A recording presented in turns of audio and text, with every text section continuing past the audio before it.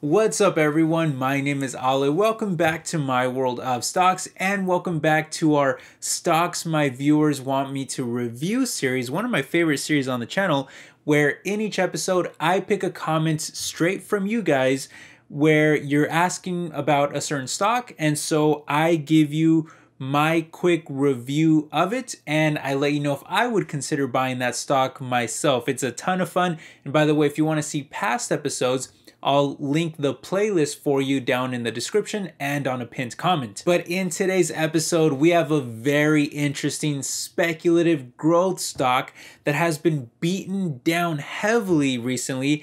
And so I've actually been getting quite interested in this stock myself. But this comment comes from Alex Gorski, who says, Hey, Ale, uh, thanks for the insight over the years. I've been watching since 2020. What a ride it's been. Wondering what your current opinion is on these three stocks Disney, Pfizer, and HIMS. I look forward to your content as always. Thanks. Well, you are very welcome, my friend, and thank you for the nice comment. It's definitely been a crazy ride over the years, so I appreciate your viewership and support. As far as the stocks you asked about, though, uh, Disney and Pfizer, I definitely talk about those a lot on the channel. And you guys probably know that I am fairly bullish on both of those stocks and I own them myself. However, the third stock, HIMS, is a stock that I have never talked about on the channel before. So that's going to be the focus of today's video. So let's talk about this telehealth specialist who has expertise in areas of hair loss, ED, mental health, and many other things. It's quite interesting. So, we're going to take a look at the business and what they do, what they plan to do in the future for even more growth and diversification, what the stock looks like today, and where I think it's heading in the future. And of course, I'll let you know if I plan to buy any shares myself, and you might want to stick around for the end of this video. But with all of that said, let's go ahead and dive straight into it. All right, now a quick little intro into the company. They were originally founded back in 2017 as purely the HIMS company by Andrew Dudum, who is still the CEO to this day, and they focus mostly on selling ED pills and hair loss treatments for men, which are still one of the biggest parts of their business to this day. And their main selling point was that rather than having to make an appointment with a doctor, sit in a waiting room, see the doctor in person, and then go to the pharmacy to pick up your prescription, you could simply just go to the HIMS website or the mobile app and talk to a doctor virtually through their telehealth platform, get a prescription right away, sign up for any kind of subscription or, or you know any kind of plan you want, and you can instantly place orders for things like Viagra, Cialis, and several other brands. They even have ED mints too, which uh, they just recently launched, by the way.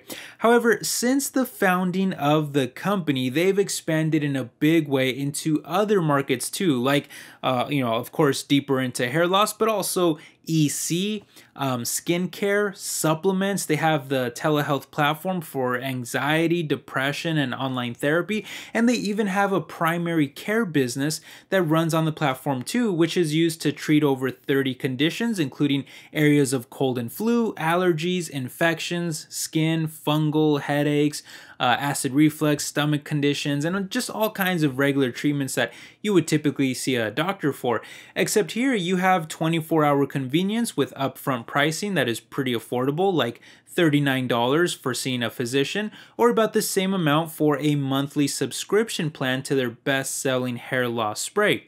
So, whatever the issue is, most people can probably afford at least some type of treatment. And to expand even further, they also launched the HERS website to sell things like birth control to women, including hair, skincare, supplements, other sex related products, and they even have a telehealth platform there too, where they partnered with actress Kristen Bell for mental health awareness. As a result, the company changed its name from just being HIMS to now HIMS and Hers Health, with a public stock debuting in 2020 under the ticker HIMS. Now, since going public, the stock has been a very wild ride, initially soaring to a high of $25 a share before crashing all the way down to just about $2, then rising again up to $12, only to fall once more to where they sit today at just around $7 a share. And so, depending on how you look at all of this volatility, you could say that from the all time high, the stock has crashed by over 70%. And even from the lower $12 mark, it has still crashed by over 40%. So, regardless, the stock has obviously fallen by a giant amount. And by the way, just so you're aware, the company also reported earnings this past week, and despite it actually being a great report, in my opinion, which I'll show you in just a second, the stock actually fell considerably after an initial rise, and it's down now like 10% just this week alone. Anyway, the question now is is this stock a buy after all of this crashing? Because keep in mind, their price to sales ratio has also fallen now to less than 2, which is over 50% cheaper than the sector. This is why so many people are now interested in the stock and I've actually received several comments asking about it too. So let's try to answer that question. Well, First of all, when looking at their financials, we can see that they've actually had a ton of success over the years. Yes, they continue to lose millions on the bottom line, but their sales have skyrocketed during that time, even going as far as to nearly double in each of the past three years, which is very impressive. The biggest issue I see right away, though, is that their growth is now falling to just about 60% expected this year and then 20% the year after. Now, on one hand, that does alarm me a bit because one fear I have about this company is that they don't have much of a barrier to entry. I mean, there's tons of telehealth and mental health and, I don't know, sexual health, all kinds of different health companies popping up all the time, especially since the pandemic. In fact, there's now close to 1,400 different telehealth businesses just in the US alone, which has been growing by about 30% on average over the past five years. Guys, that's a gigantic increase in terms of new businesses for, you know, just that market alone. And so I wonder if that might be putting some pressure on HIMS and limiting their growth potential. However, on the other side, I think Hims might have a pretty strong competitive moat thanks to their combination of a strong brand, a robust technology platform, a solid team with clinical experience and partnerships, and a strong portfolio of products and new markets that they can tap into in the future. And I'll expand a little further on all of this. When you look at their recurring revenue from subscriptions, it's at over 90%, meaning that their customers tend to stick around. In fact, the biggest reason why Hims isn't GAAP profitable yet is because most of their profits go towards advertising spend in order to attract new customers. And while that's a little scary in that it makes it look like Hims might just be kind of buying their own growth, the fact of the matter is that these customers become much more valuable over time. So you need to focus on acquiring as many of them as you can right now so that the subscription revenues can snowball over time because of those strong retention rates, which is uh, a strategy that seems to be working as their subscribers have been growing by thousands every single quarter, with another 74% increase year over year in this latest one. In fact, they've now tripled their subscriber count in less than two years to over 1.2 million. That's very promising to see because, again, those subscribers are likely to stick around and keep paying them money. And speaking of the most recent quarter, by the way, they absolutely destroyed numbers, beating EPS by over 70% and posting really high revenue growth of over 80%. So I have no idea why the stock fell post earnings. It kind of seems like there might have been a short attack or some kind of market manipulation because even their profitability is getting much better. In fact, they already reached positive adjusted EBITDA a couple quarters ago and continue to improve its margin, which, by the way, their gross margin is also very high at over 75%. So if they can continue to add more subscribers and grow their recurring revenues while simultaneously improving their profitability, then this could actually turn into some very high growth on the bottom line too, especially when their advertising spend plateaus, but the rest of the business keeps growing. And already you're seeing some of that as analysts project that their EPS will rise by over 60% a year through the next five years, according to Yahoo Finance. And speaking of analysts, the stock price currently trades well below even the lowest analyst price target, too, which suggests it may be grossly undervalued right now. Time will tell, but I actually think that they have a pretty good future ahead of them.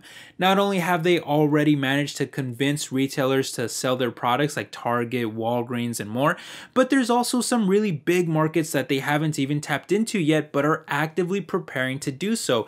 In men's health, for example, They've yet to treat testosterone and prostate issues, which are super common among men.